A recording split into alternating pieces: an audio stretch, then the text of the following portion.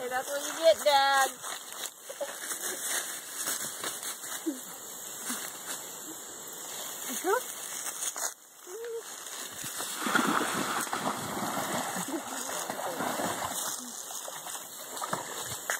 He just put dye in his mouth. No.